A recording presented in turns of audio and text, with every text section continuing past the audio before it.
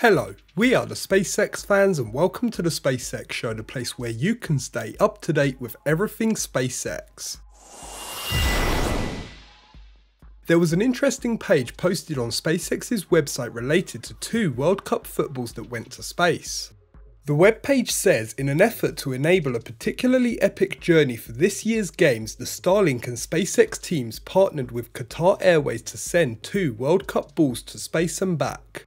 Just a reminder there should hopefully be another Falcon 9 launch tomorrow. The launch of the SWOT mission is currently scheduled for tomorrow, Thursday 15th at 11.46am UTC or 6.46am EST. In addition to that, there are currently two launches scheduled for the following day. The O3b mPOWER 1 and 2 mission is currently scheduled to lift off on Friday 16th at 9.21pm UTC or 4.21pm EST. Also, there's the Starlink 437 mission that's also scheduled for Friday 16th at 9.54pm UTC or 4.54pm EST.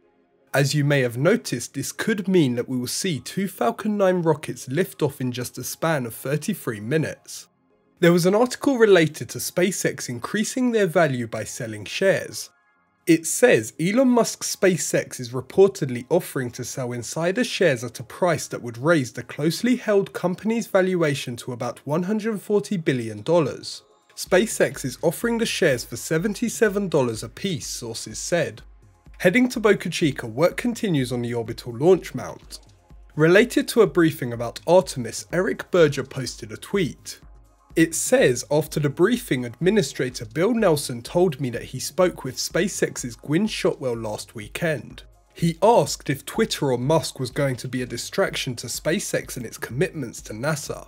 She said to me in no uncertain terms, I assure you it is not.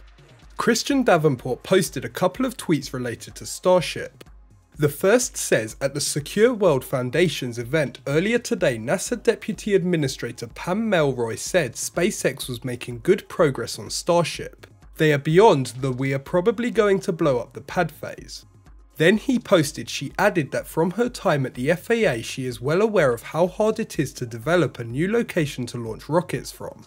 Safety is everything, and I think they are just experiencing some of those things.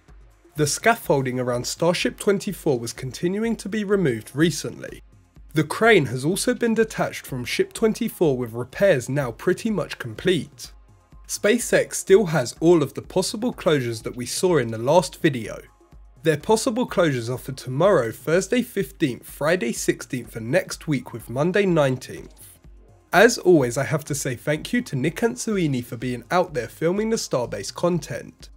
Also thanks to the NASA spaceflight team working behind the scenes on their videos, live streams and other space content. That's it for this episode of the SpaceX show, I hope you enjoyed the video, if you did make sure to hit the like button and leave a comment down below. If you want to stay updated with SpaceX info make sure to subscribe and press the bell icon to get notified when I upload. Thanks for watching and have a great day.